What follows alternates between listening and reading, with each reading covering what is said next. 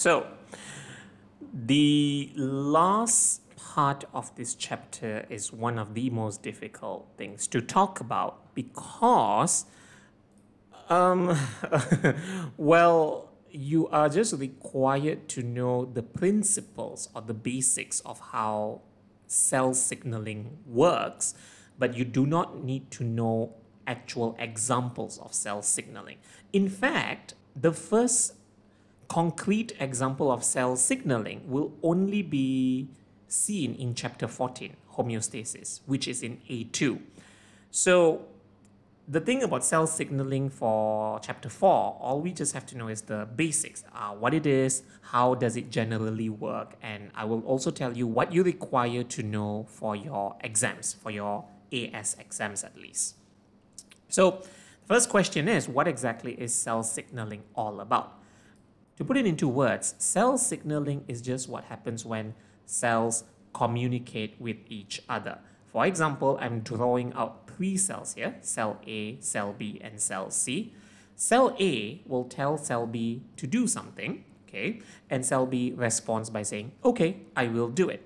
However, if I were to put another cell here, cell C, cell C will respond by saying no. So this is actually referred to as cell signaling, or in some books, they will also refer to it as cell-to-cell communication. It sounds extremely unique and far-fetched, but it's not. In fact, cell signaling or cell-to-cell communication constantly happens in our body without us realizing it. For example, your brain telling your heart to pump faster is an example of cell signaling. Your adrenal glands telling your pupils to dilate is also another example of cell to cell communication or signaling that is happening. These are just specific examples that are taking place in our body. So, we will be looking at facets of cell signaling in chapter 14 and also chapter 15, by the way, in A2. But for now, we just have to know the basics. So, let's look at one example of cell signaling. In this example, Cell A is a pancreatic cell and cell B is a liver cell. Now you don't need to memorize this example. You just have to understand what's going on. For example, cell A will basically release a signal that says, please break down glycogen. And cell B will go, okay, I have glycogen and I will break it down. The reason why it wants to break down glycogen is especially when your body doesn't have enough glucose inside the blood. So uh, A tells B to do something about it and to remedy the situation. Here's the thing A and B are actually very far away from each other. They are not directly next to each other, by the way, in my like like in my diagram. In fact, the pancreas and the liver are situated quite a distance. So the question over here is, how does one cell communicate with another cell? Or how does one cell talk to the other cell? The first way the cell talk is by releasing chemical signals or ligands and an example of ligands or chemical signals are just hormones. Uh, examples of hormones that you might want to just be familiar with, especially for A2, will be hormones such as insulin, glucagon, adrenaline. Um, these are just uh, ADH, these are just some examples of hormones that we will be talking about in chapter 14. But for now, all you just have to know is the first cell sends out a signal by releasing chemical signals or ligands. You can use the word chemical signals or ligands interchangeably. Do not worry about that. Then comes the next question. How does cell B listen to the signal? Which means how does cell B receive the signal? the way cell B actually receives the signal. If you remember, let's go back to the previous videos that we talked about. I told you that on the cell surface membrane, there are these membrane proteins, and in some of the membrane proteins, they can act as receptors.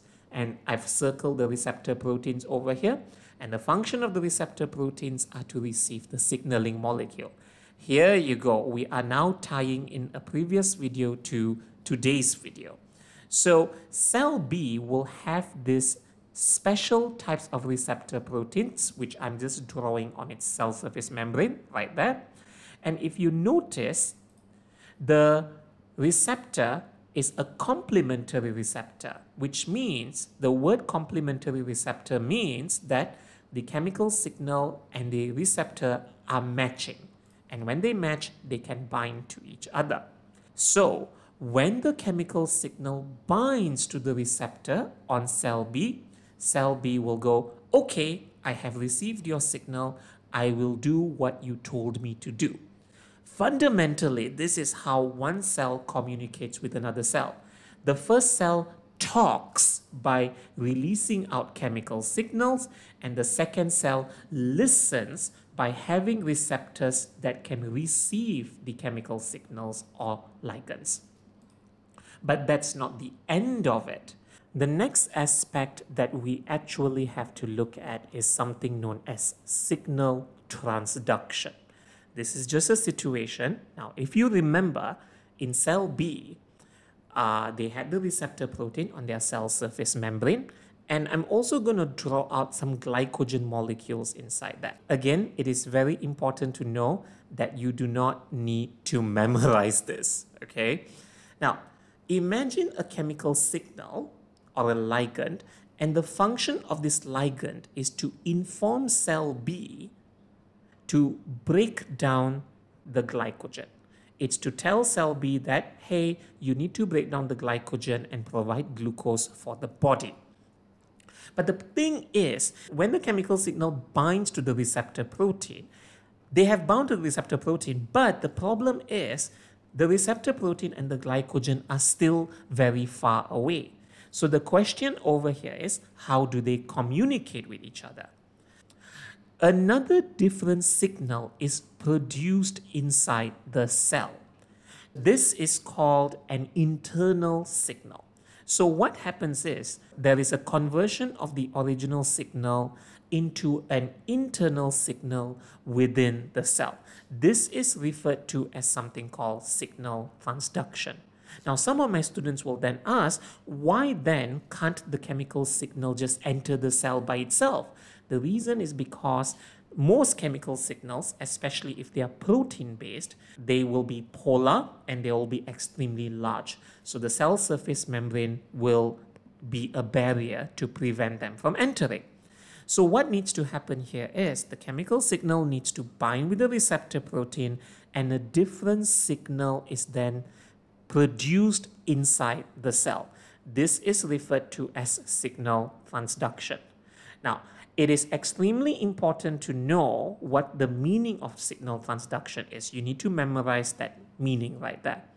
And also, you must know that signal transduction usually has two important processes happening, which are cascade reaction and signal amplification. So let's talk a little bit about the cascade reaction. So Let's look at another example if we if you would allow me. Again, these are very confusing examples. The best way to think of a cascade reaction is, again, don't memorize this. Imagine there is an original signaling molecule, and this original signaling molecule is saying, please do something, okay? And I'm going to draw out a few enzymes, and I'm also going to draw out, instead of glycogen, I'm going to put a target inside the cell as mitochondria. Now, notice something interesting here that the enzymes A, B, and C are actually inactive and I have represented them as sleeping enzymes. They are not actually sleeping, but they are just inactive. Now, the function of the original signaling molecule, which is a hormone or ligand, is to tell the cell to produce more ATP. But the problem is the original signaling molecule is outside the cell and the mitochondrion is so far away. So the mitochondrion cannot hear the original signaling molecule. How then can the original signaling molecule send its message all the way to the mitochondrion? What needs to happen here is signal transduction. And during signal transduction, what exactly happens is the original signaling molecule binds to a complementary receptor on the cell surface membrane. The receptor will then send a signal to the enzyme A. And the enzyme A, which is inactive, will then become active. And when it becomes active, it will then send the signal to inactive enzyme B, which will then become active. And inactive enzyme B will continue sending the signal to inactive enzyme C, and inactive enzyme C will then send the final signal to the mitochondrion. And in this case over here, the mitochondrion will go, oh, fine, I will produce more ATP as required. Okay, so this is how cascade reaction actually takes place. Cascade reaction is just is just a game of passing on the message from one enzyme to another enzyme to another enzyme to another enzyme until it reaches the target inside the cell. So this is what cascade reaction is all about. Now, but cascade reaction is not the only thing that needs to happen.